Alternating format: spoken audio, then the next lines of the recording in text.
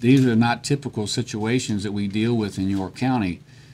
And when you do come across the death of a child, it affects everyone. Sheriff Ron Montgomery says it was a tough day for his department and the community after baby girl Miracle Wicker died after being left in a hot car. We have children ourselves, and I can tell you that we all go home and hug our kids and our grandkids a little tighter after something like this happens. Montgomery says Graham was caring for the child on September 12th, as she often did. According to court documents, Graham says she took gabapentin, which is a painkiller, drove to Newport News, then returned to her house on Seaford Road with the baby and a dog in the car around 5 a.m., where she then fell asleep until 2:30 in the afternoon. Sheriff Montgomery says Graham gave conflicting statements. She initially would have us believe that she was in the vehicle along with the child and the dog for that duration of time.